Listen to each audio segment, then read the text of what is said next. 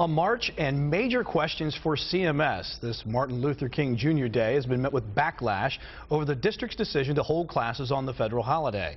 Fox Show's Lyra Manning has more on where the debate goes from here. I see no demonstration.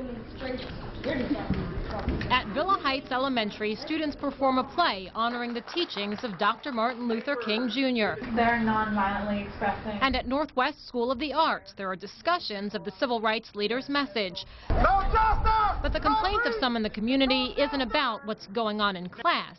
It's that class is in session at all. They should allow the children to watch movies and talk about Dr. Martin Luther King. They should do that. But the children, this day was given to them so they could do that in the community with their families. Some parents chose to take their kids out of school and take part in an uptown protest against using MLK Day as a snow makeup day. The day was too important to lose for us.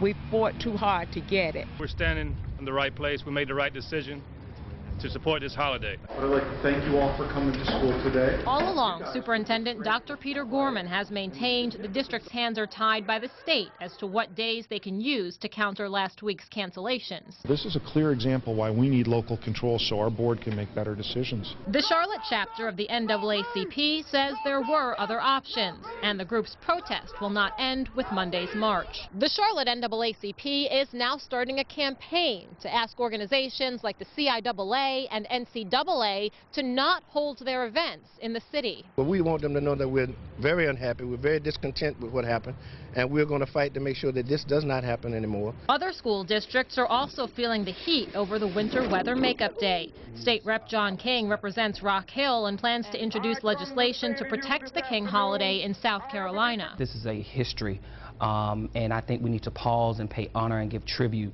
to um, the civil rights movement as well as to Dr. King. While the school day has ended, the debate it spawned appears to be just beginning. No justice, no peace! Lyra Manning, Fox News.